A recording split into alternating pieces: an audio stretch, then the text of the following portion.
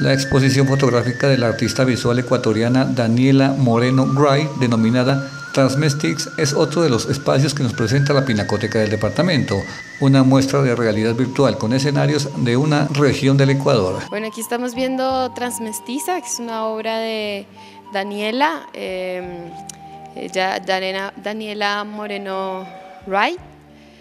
Ella es una artista visual ecuatoriana de Cayambe, es toda su familia.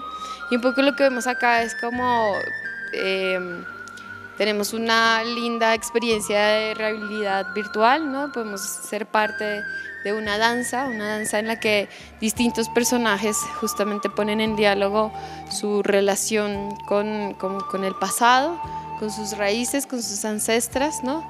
Lo ponen en diálogo con el presente, ¿no? Con lo que son, con lo que viven.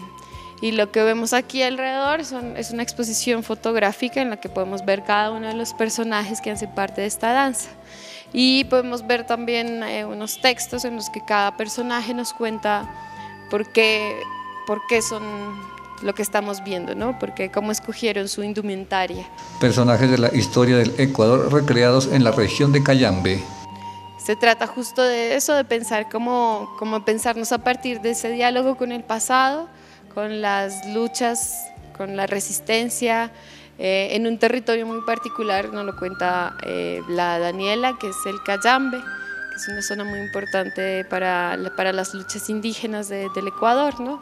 Podemos recordar como figuras tan importantes como Dolores Cuancuango Tránsito Amaguaña, que son lideresas indígenas que han sido muy importantes en las luchas ecuatorianas. Durante toda esta semana usted puede apreciar la muestra de Daniela Moreno, quien nos presenta de una manera muy particular personajes de su Ecuador, utilizando fotografía y realidad virtual.